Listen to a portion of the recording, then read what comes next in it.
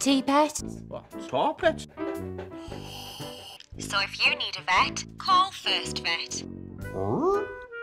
How is he, pet? Not sure pet. Best call FirstVet, pet. I pet.